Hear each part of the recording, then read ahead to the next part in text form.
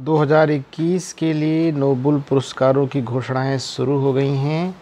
Nobel पुरस्कार छः क्षेत्रों में दिए जाते हैं। चिकित्सा के क्षेत्र में, रसायन विज्ञान के क्षेत्र में, भौतिक विज्ञान के क्षेत्र में अर्थशास्त्र के क्षेत्र में, शांति के क्षेत्र में और साहित्य के क्षेत्र में। सबसे पहला जो अनाउंसमेंट हुआ है, वो चिकित्सा के क्षेत्र में नोबल पुरस्कार का हुआ है। अमेरिका के वैज्ञानिक हैं। उन्हें मिला है। किस क्षेत्र में? देखिए, गर्मी लगना या किसी स्पर्श का महसूस होना मानव जीवन की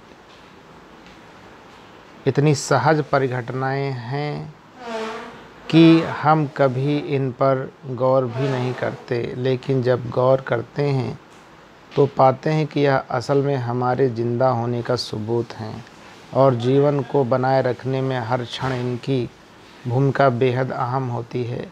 इस वर्ष यानी 2021 चिकित्सा का नोबल इन संवेदनाओं की गुत्थी सुलझाने वाले दो वैज्ञानिकों, अमेरिकी वैज्ञानिक डेविड जूलियस और आर्डेम पैटा पाउटियन आर्डेम पैटा पाउटियन को साझा तौर पे दिया गया है। इन्होंने जो खोज की है उससे कई प्रकार के दर्दों, दर्द का उपचार हो सकेगा।